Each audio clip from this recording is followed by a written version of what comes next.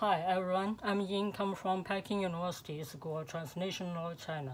My dream is to run a public interest law firm after my graduation. Professor Campbell told me if I want to learn how to combine law and business, the Law Without Walls project is a great opportunity. He said his personal experience here had helped him to run his own business successfully.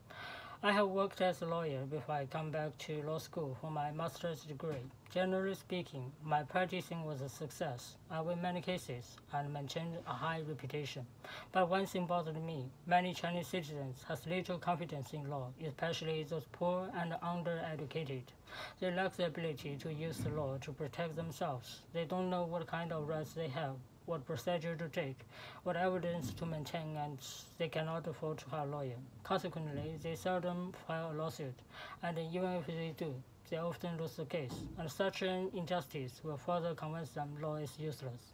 I hope I can help to change the situation by running a public interest law firm which offers competent legal services to poor clients at an affordable yet profitable price. There are some young lawyers who lack the practicing experience at their own cases would like to accept a reasonable wage to help poor If such a law firm can be run, we young lawyers will gain experience and the poor client be helped.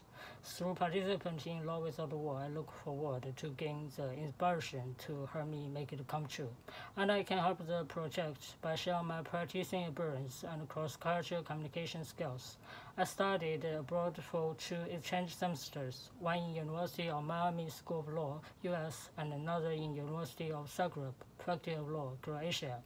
This experience made me can communicate smoothly with people from different backgrounds. Thank you very much.